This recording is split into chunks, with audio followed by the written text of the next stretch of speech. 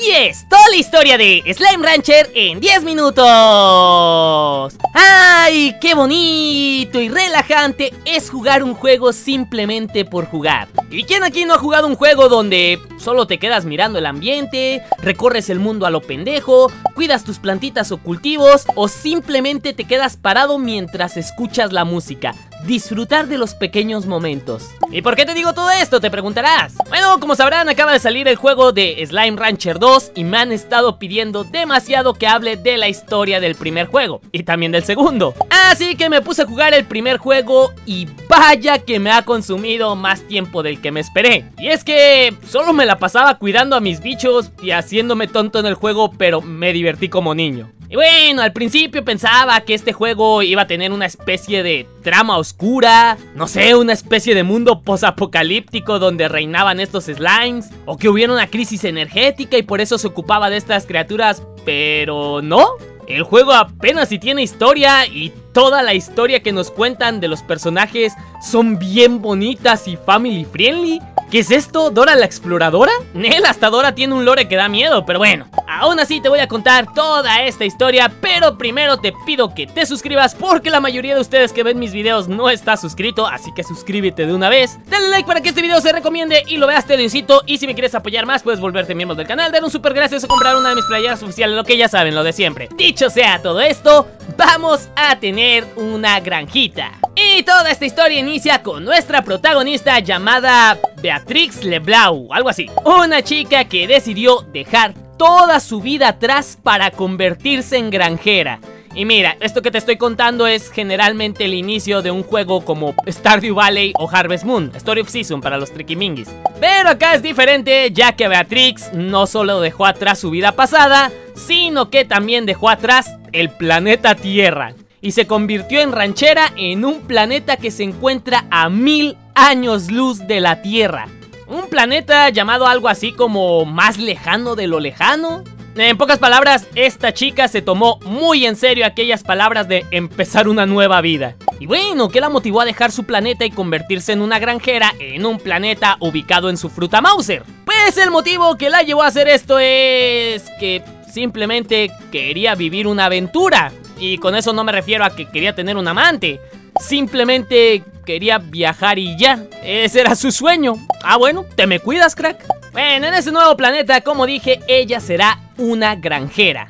Yo no imaginaría que cosecharía jitomatitos alegres, cebollitas contentas o los chompets con caritas del juego de Cooking Companion, pero no. El juego se llama Slime Rancher, es decir, rancho de slimes. Así que en vez de cuidar vaquitas, pollitos o robodinosaurios, cuidará slimes. Unos lindos slimes kawaii de Sui o Nichan que hacen ruiditos bonitos y se la pasan botando como pendejos. Nada más. Pero bueno, supongo podemos ordeñar a estos slimes o estos sacan huevos o algo por el estilo, ¿no es así? Pues sí, pero no de ellos venderemos literalmente su caca. Sí, nos darán dinero cada vez que cague uno de estos smiles.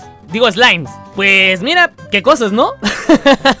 Pero obviamente los slimes son lo divertido del juego. Ya que hay un montón de cada uno de ellos, por ejemplo los rositas, los de orejas de gatito, los que vuelan, los que están bien pinches bonitos y los que te matan a ti, a toda tu familia y se comen a todos tus slime. Los famosos Tar, unos seres completamente poseídos por el demonio que son el terror de todo aquel que juega este juego. Pero bueno, dejando lo único creepy que tiene este juego, también podemos fusionar a los slimes. Y o sea, uno pensaría que sería juntar dos slimes si estos tuvieran un bebé. O como son gelatinas, pues estas se juntan y se fusionan y crean otro slime. Pero no, para fusionarlos entre comillas, les tienes que dar de comer la caca de otro slime al slime que quieras transformar.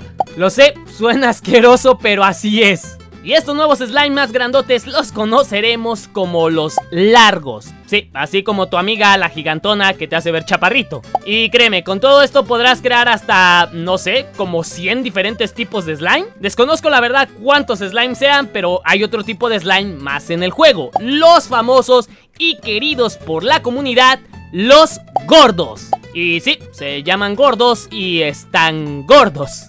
Pero bueno, nuestro objetivo en todo el juego es llegar a las diferentes zonas del mundo, las cuales tienen climatologías diferentes y por ende en cada lugar viven diferentes tipos de slimes. Y básicamente todo el juego es así como tal ir descubriendo el mundo y ya. Pero aún así el juego nos cuenta varias historias. Primero están las historias de los diferentes personajes con los que nos toparemos en nuestra granja. Luego está la historia de nuestra protagonista con una persona muy especial llamada Casey. Y por último en el mundo que exploremos encontraremos diferentes notas de un granjero llamado Hobson. El cual nos cuenta una historia de amor que nos dejará pensando a todos los jugadores acerca de nuestros sueños, motivaciones y más. Y también tiene cierto peso en la historia de nuestra protagonista. Pero bueno, primero hablemos de los diferentes NPC que la verdad no aportan mucho a la trama del juego. Los personajes más importantes serían la Mochi, la cual tiene una extraña adicción por los slime de mercurio. Luego tenemos a Víctor, y no, no me refiero al Víctor papacito chulísimo de Arkane,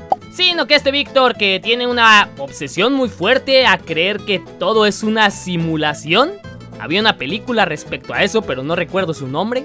Y por último tenemos a la granjera Tora de la que hablaremos en un momento más. Los demás NPCs no importan casi nada. Bien, ahora tenemos la historia de nuestra protagonista Beatriz, la cual constantemente recibe cartas de una persona llamada Cassie, de la cual tampoco se nos aclara su género, pero sabemos que Cassie es la persona más importante para Beatriz tanto que incluso ambas cuidaban un cactus juntas. O sea, cuidar de una plantita junto a alguien ya son palabras serias. Y no solo eso, juntas abrieron un café. Pero lo tuvieron que cerrar y lo convirtieron en otra cosa, la cual ya no me acuerdo qué era porque, o sea, me sentí ofendido. ¿Cómo se les ocurre cerrar un café? No saben lo que a alguien como a mí, llamado God of Coffee, le duele que cierren un café. Pero al final Beatrix soñaba con grandes aventuras, así que casi la apoyó y se quedó en la tierra componiendo una canción mientras que Beatrix cumplía sus sueños. ¡Ay, qué bonita historia de amor!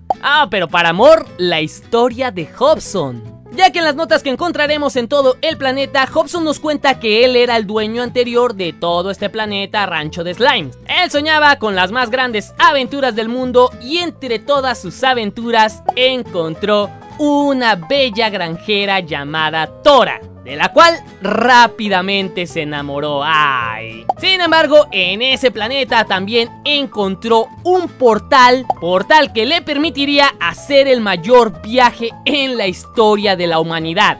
Un portal que permitía viajar entre el tiempo y el espacio. Pero Aquí él nos cuenta que en la vida siempre se nos presentan dos puertas. Cuando una puerta se abre, la otra se cierra.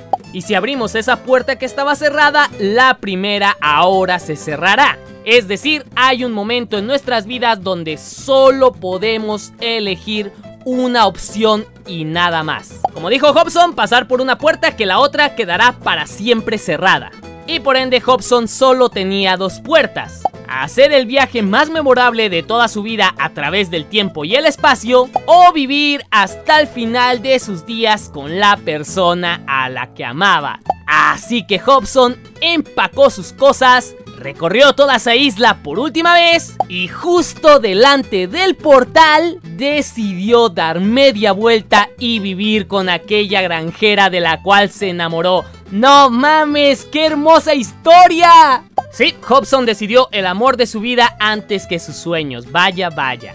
Y como ves, Beatrix está en esa misma situación seguir viviendo aventuras en el espacio o volver con aquella persona especial la cual al final del juego, mientras vemos los créditos, podemos escuchar su canción. Y créeme, yo al principio hubiera imaginado que Beatrix eligió regresar con Cassie, pero hay un segundo juego, así que me da a entender que la maldita sigue de aventura y no aprendió nada de la historia de Hobson. Y sí, lo sé, la historia nada que ver con los slimes. O sea, pudiendo decirnos que los slime destruyeron la tierra o algo así, nada. Viles bolas de gelatina que cagan dinero. Pero bueno, tardaré un poquito más en jugar el Slime Rancher 2. Ténganme un poquito de paciencia porque ya saben que estos juegos me hacen perderme horas y horas. Pero tan pronto lo termine les traeré su historia, así que suscríbanse para no perderse ese momento. Que por cierto, tengo nuevos proyectos para este mes, así que estén muy atentos, activen esa campana, se vienen invitados especiales y se vienen más videos a la semana. ¿Qué más puedo decir? Agradezco a los hermosos miembros del canal y te invito a ver alguno de los videos que se muestra a continuación. Dicho sea todo esto...